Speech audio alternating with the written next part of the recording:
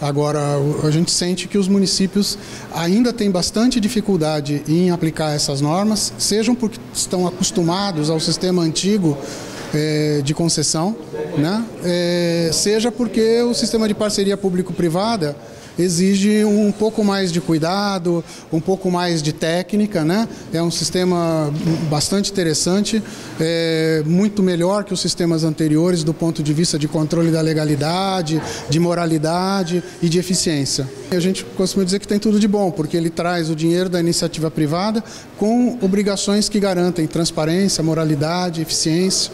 Tanto a parte jurídica, por se tratar, embora a legislação já tenha mais de 10 anos, é considerada uma legislação nova, né? É, frente aos mecanismos tradicionais de concessão, como a parte técnica, né? porque o Poder Municipal estava muito acostumado a ele fazer um desenho, muitas vezes até influenciado por esse ou por aquele licitante, é, e não fazer isso de forma transparente, aberta, como a lei de PPP preconiza está demorando demais. É, o sistema de PPP funciona desde países capitalistas como os Estados Unidos até países comunistas como a China.